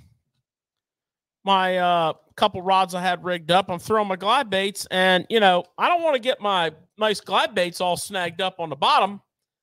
So I'm like, well, let me put my forward facing on and see where they're at. So the beauty of the glide bait is how you can control the depth with your forward facing. So at one point I got to my KGB Chad Shad, which I really like to throw. And I was in like six foot of water, and that sucker just doesn't go down to six foot of water right away. So one of the things I learned from back in the magic swimmer days is take an eighth ounce tungsten drop shot weight and put it on the front split ring. And then uh, we were diving. We were casting her out and taking her right down to our depth. We were able to wind a little bit faster, which, you know, in cold water is not what you would think, but you got to wind those things so slow to keep them down there. Adding that weight, I was able to pick up the wind. I was able to get the the width of the retrieve I wanted out of the swim, this width of the swim. And listen, forward facing slash glide bait or getting a glide bait deeper. Tip of the day, eighth ounce tungsten drop shot weight, but make sure you get a pack that has the round eye on it, the same weight that you would use for free rig. Okay. Quickly put it on your front split ring. Okay. You're done. That's it. That's your modification. Yeah. It's like Good it to go. takes it takes you longer to get the weight out of the box than it does to modify the and then guess what? If you don't want it, if you want to fish that same $60 bait later, guess what?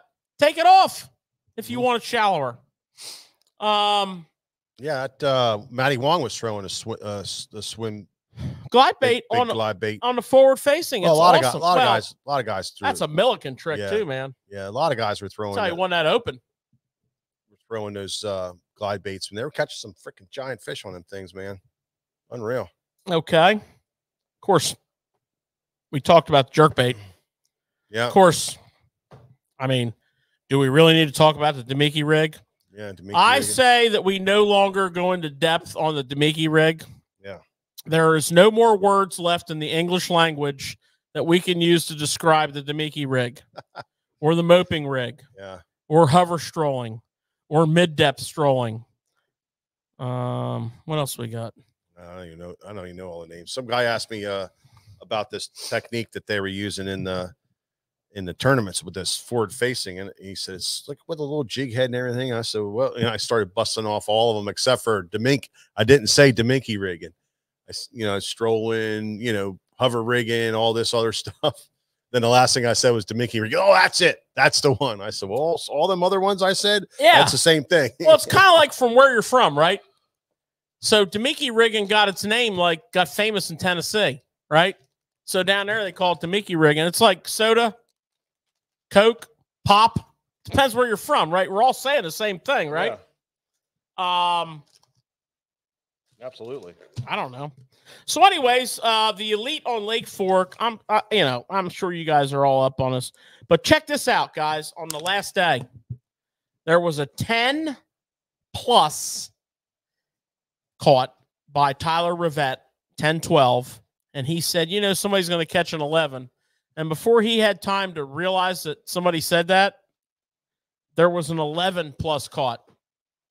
And I don't remember who caught that. I, I, I did not make my note on that. Who'd you say? Tyler Rivet? Hamner. Hamner. Ham- that's Hamner, right. Yeah, that's right. So that was just the last day. And every top 10 angler the last day cracked 100 pounds. I mean, come on. Did you see uh Cooper Gallant was like two minutes away from not cracking 100 pounds? Right? So that was interesting. Just like he was two minutes away from not making the final round. right. Yep. I think he caught that fish to make him the final round. I think he caught it on the last minute. and knocked out uh Matty Wong. oh what a freaking really? disaster, man. Yeah, and then he did the same thing on the last day. He said he was so worried he wasn't gonna crack the top the, the hundred pounds, which should have been easy. He said.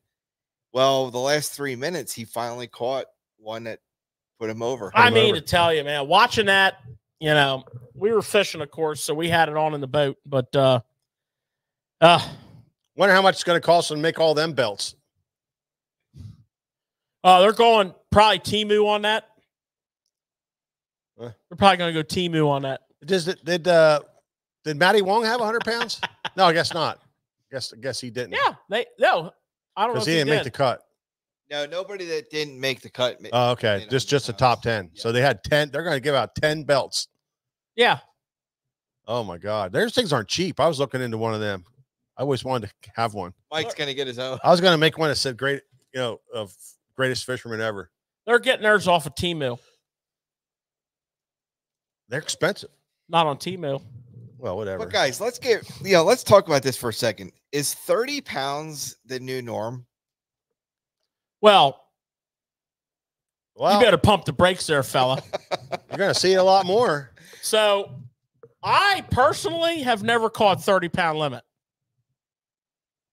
And I don't think anybody I've ever fished with has caught a 30 pound limit. I did see a 30 pound limit weighed in in a tournament one time. Uh, but now it's raining 30 pound limits. Now I think that's a testimony to Lake Fork, obviously.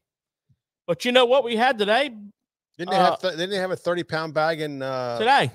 Uh, yeah, today. But didn't they have one at uh, Toledo Bend? Too? They had more than one. Yeah, he had several at, at, at Toledo Bend. I, I, yeah, I think you're right, Let's Nick. see. Let's check A lot the more Toledo them. Bend notes.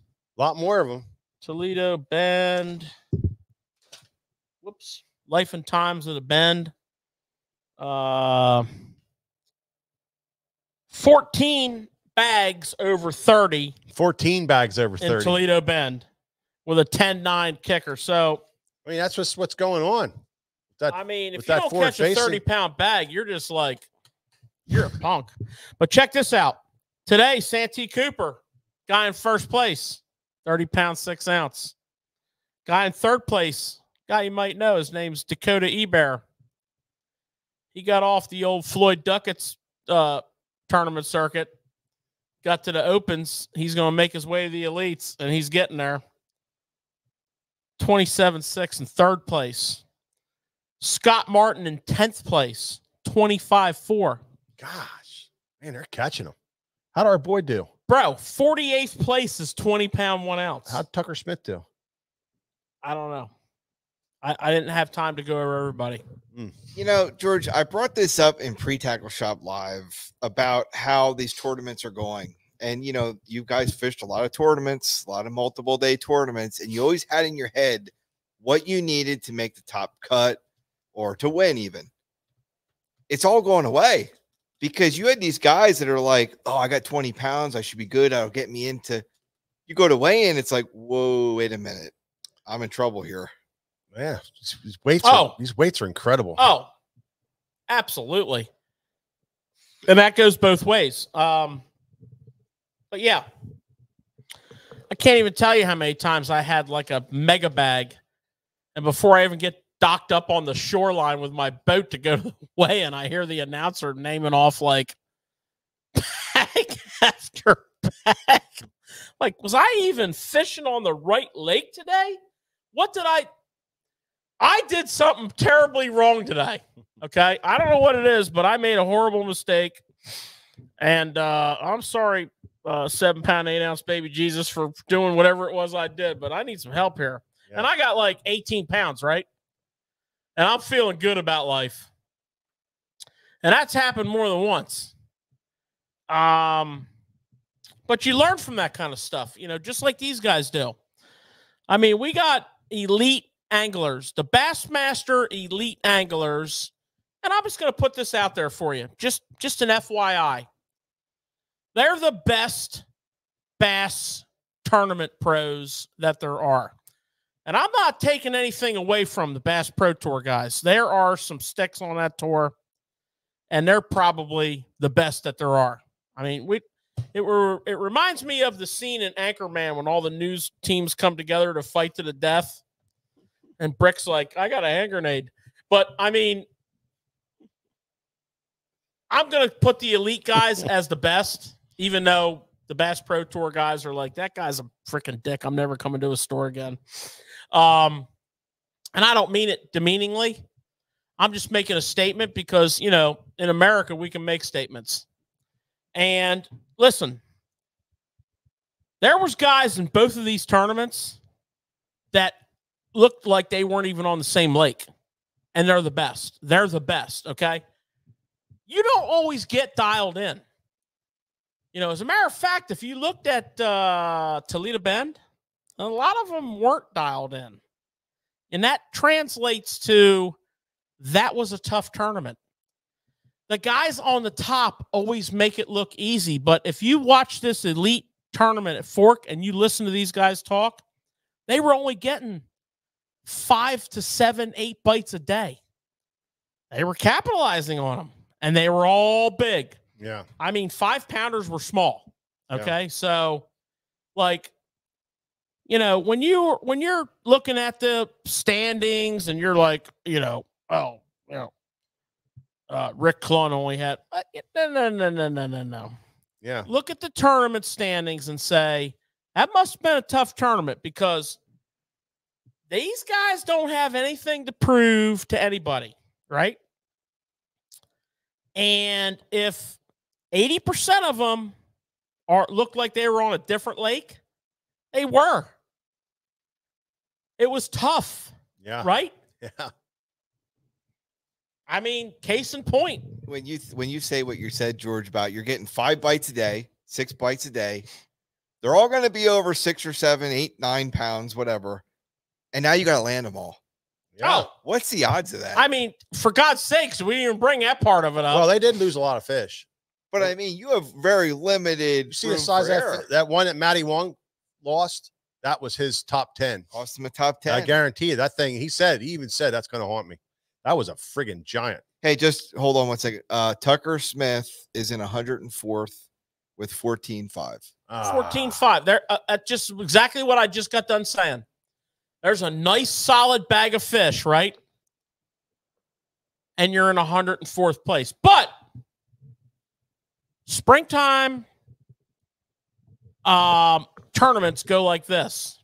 Tomorrow, them top guys, that guy with 30 pounds six, he might catch 14 pounds. And Tucker Smith might catch 29 9. And guess who goes where?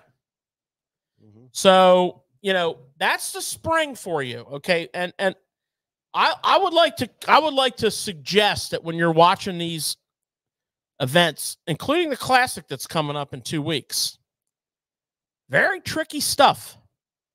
Very tricky stuff. Hero on day one, zero on day two, or vice versa, because the weather patterns and the nighttime temperatures cause bass to do insane things. Yeah. You know, bass will move. Like if you think a mile is far for a bass to move in a couple hours, it's not. Okay. Um, so, anyways, I, I mean, I found those two tournaments. Now we got Santee Cooper, uh, Bass Open.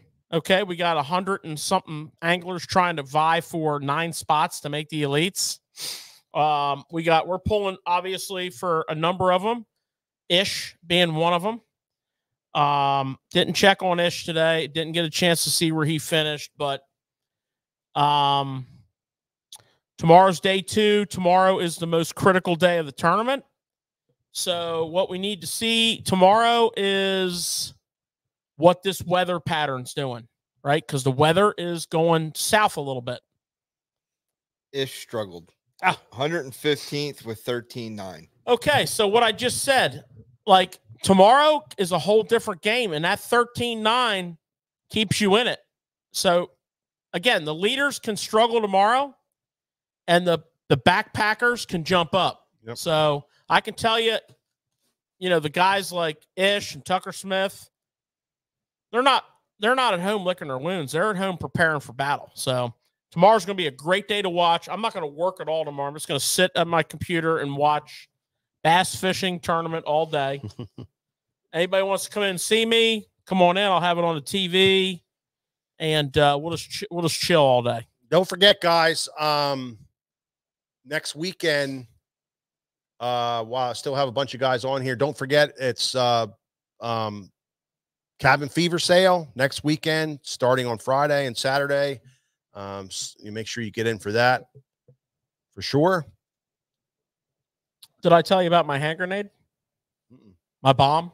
My my end of the nighter? So the 2024 Bass Fishing Hall of Fame class was announced recently. And I'd like to run down a few of the guys that are on there. Fred Arbogast. Mm. Did you ever hear of the jitterbug? You may have heard of it. Fred Arbogast invented it.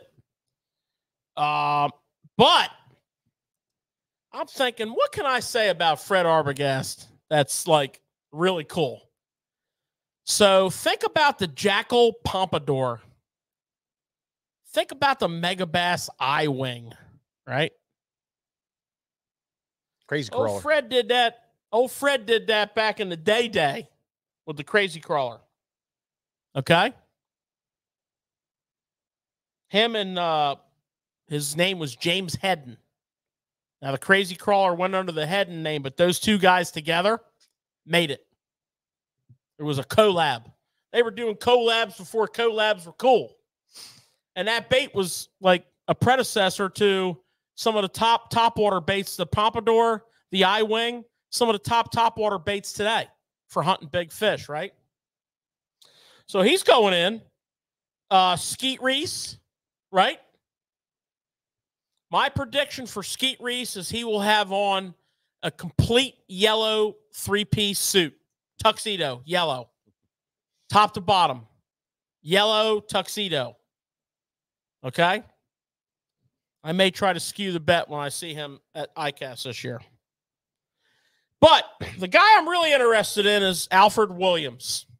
Hmm. Alfred Williams was the first African American to compete in bass tournaments. And he he he qualified for the Federation Nationals in 83 and won them on his home lake of Ross Barnett in Mississippi. And he won over 200 tournaments on that lake. Wow.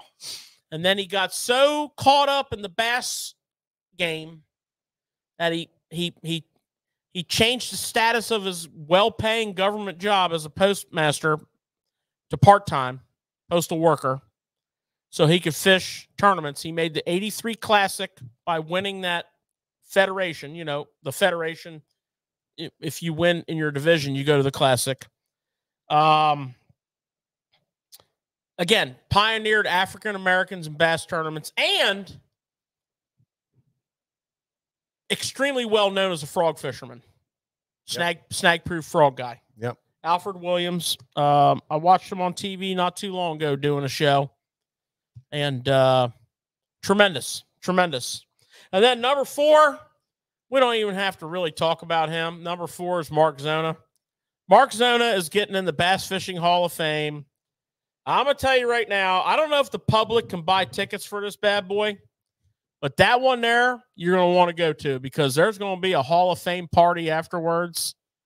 That would be well, worth crashing That would. because Mark Zona is one of the coolest cats in bass fishing by any measurement that you have. You know, Mark Zona started out fishing tournaments like all the rest of us. Um, he got up into the Bass Opens, which were called something else at the time. And you know, he he excelled there. Of course, his television show. I mean, I you know, you don't have to talk about the man. The man is unbelievable. Yep. Mark Zona is great to work with. We've had him here at the shop. Um, we see him every year. He's a great guy. So that's your Bass Fishing Hall of Fame class 2024. Um, Did you guys get to see when they told Zona? no. So it was on live. And I think I was driving at the time and I'm watching it and it was it was interesting because well well deserved, you know. Yeah. Um and he did not know that they were going to announce that. He didn't even know. And when they announced it, it was funny because he always has something to say. like he always, Yeah. you know, is Zona. And he couldn't. He didn't know what to say. He was kind of like, he's like, guys, I'm just mumbling stuff. I don't even know what to say. It was really cool. Yeah. It was really, really cool Yeah. to see him get that. Yeah. Yep. That's Pretty great. That's great. Well, um, uh, just want to give let let everybody know um or that our thoughts and prayers are going out to Gogo Gomez. He lost his brother uh the other day. Uh, I hate ending the shows like this, but I just wanted to let everybody know about Gogo's brother and um because Gogo's a big part of part of everybody and and we he's is he's part of our show here and everybody knows him. Um, lost his brother here uh, over the weekend. So go go. Thoughts and prayers are with you. And Absolutely. Go goes go goes part of the SFT family. yeah, absolutely. So our thoughts and prayers are for you, go go. And then also, uh, probably all you guys are are uh, have found out that uh, uh, the guy who worked for us for many, many, many years, Michael Poole, passed away. Lost his battle against cancer on Friday last week. Courageous, hard fought battle. Uh, great guy. Um, but so, just so you guys know, um, you know, Mike Mike passed away on Friday, and he is living in a better place right now. And um, our thoughts and prayers go out to his family. So losing uh, too many people here these last couple of weeks, but um, so thank you guys so much for listening tonight, and uh, don't forget Cabin Fever next weekend. Nelly, uh, Bernie Schultz, GDP, all kinds of great stuff, specials, free free uh, giveaways, I can't wait. crazy crazy stuff going I, on. I I tell you, I put together a sales sheet. It's worth coming in. I'm just going to tell you right now. Um, I, I'm just going to tell you, you don't want to miss this. You don't want to miss this sucker right here. Yeah. Trust me when I tell you, you do not want to miss. I would be here early, and I would be knocking on the door saying, "Let's go." so until next time, we'll see you on the next Tackle Shop Live. Hopeless lover, hopeless lover. I met you on a sunny day. Right there, you took my breath away. A young and pretty, was it just a dream? The next day you called me up. You told me I'm your little buttercup. You came over and you fell into my arms. Well, I know what I feel. Please tell me your love is real. You make me smile when I think of you. If I